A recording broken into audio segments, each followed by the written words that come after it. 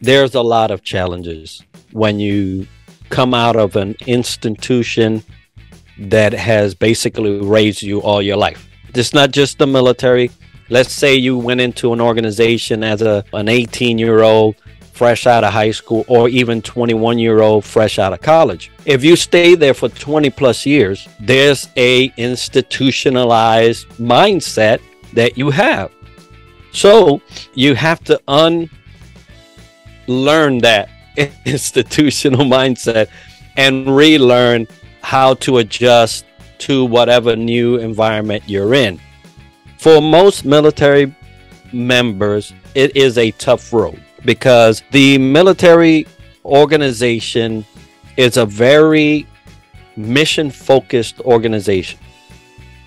But it is also an organization that breeds family. So, to the point where one man will give his life for the other. It is not something you have to ask for, it is something almost that you are guaranteed to have. And so, if you take that to a normal uh, community, you will not get that. Most communities won't give their life for you without question. It is you fend for yourself. I gotta, you know, I have to live to fight another day.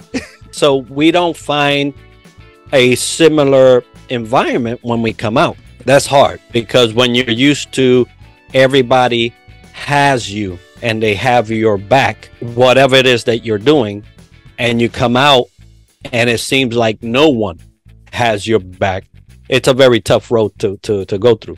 So there, uh, among that challenge, are the challenges of the fact that, and I love saying this for military people, we represent 10% of the of, of the nation, and or between one and 10% of the nation, depending on where, where you are and the other 90% of your nation has learned to live without you.